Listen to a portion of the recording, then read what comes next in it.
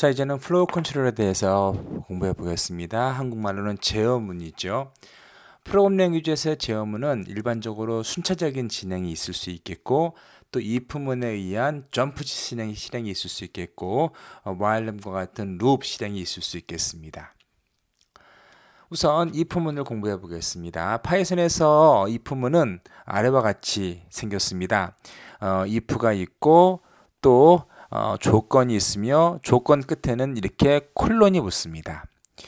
그리고 그 다음 그러니까 이런 조건에 맞지 않고 또 다른 조건을 계산하고 싶으면 이렇게 이 L if를 붙일 수 있겠습니다. 그리고 두 번째 조건이 있고 역시 세미콜론이 붙고 그리고 이것도 이것도 아니면 이제 무엇을 해라라고 else문이 있을 수 있습니다. 엘스문은 보시는 것처럼 뒤에 역시 콜론으로 끝나고 그리고 이제 어, 보시는 것처럼 조건이 있고 또 조건이 만족하면 이러한 문장이 실행될 수 있겠고 또이 조건이 만족하지 않고 이 조건이 만족하면 여기가 실행이 되고요. 그리고 이도 저도 아니면 여기가 실행이 되겠습니다. 이렇게 흐름을 컨트롤하는 것들이죠. 그러면서 보시는 것은 우선 넘이 넘버에 23이 들어가고요. 그리고 guess가 이제 raw input 다시 말해서 키보드에서 받아, 받아온 integer를 integer로 바꿔서 집어넣고 있습니다. 그래서 이 guess한 넘버와 그리고 23과 같으면 이것이 실행이 되고 또 아, guess한 넘버가 작으면 이것이 실행이 되겠죠. 그렇지 않으면 이제 마지막으로 이렇게 실행이 됩니다.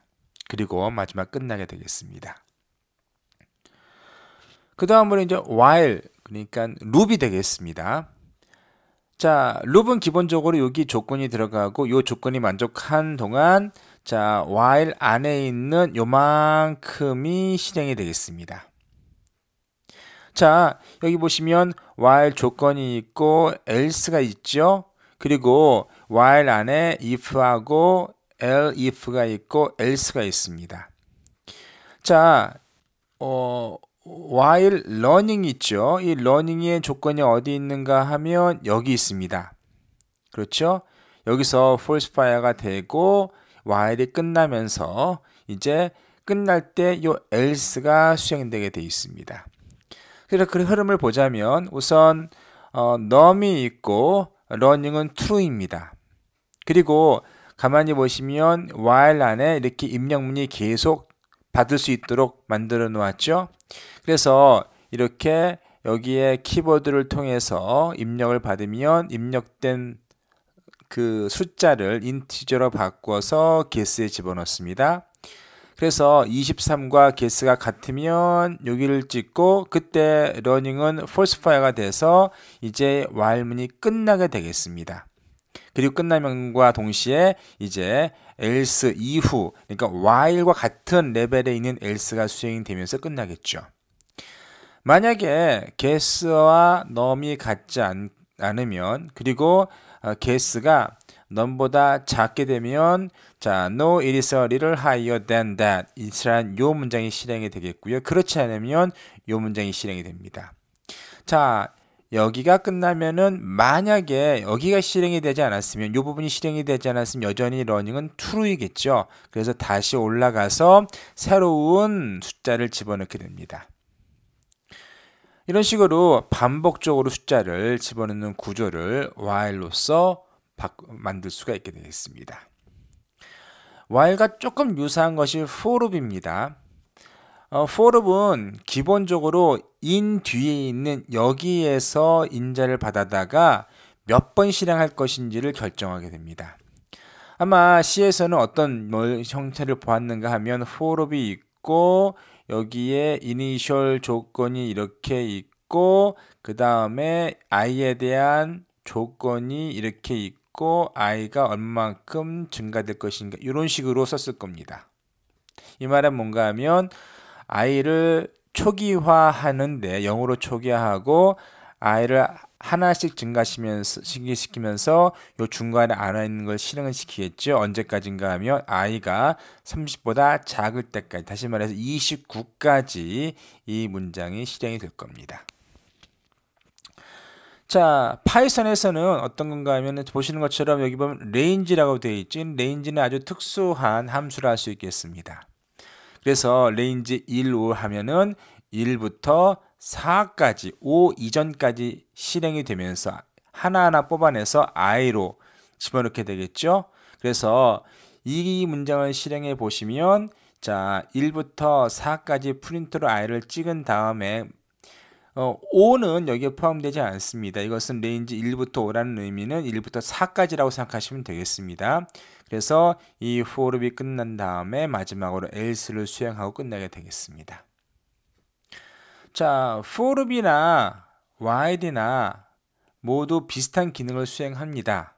그런데 while은 뒤에 컨디션이 붙고요.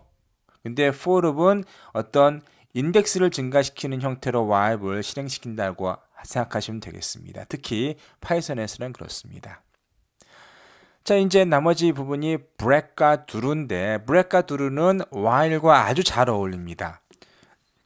자, 우리가 이 프로그램을 보시면 while true 그러니까 이것은 무한루비죠 기본적으로 이만큼이 무한루비 되겠습니다 그래서 어떻게 하는가 하면 입력을 받아서 s에 놓고 그 입력이 퀴시 아니면 퀴시 아니면 여기를 실행하겠죠?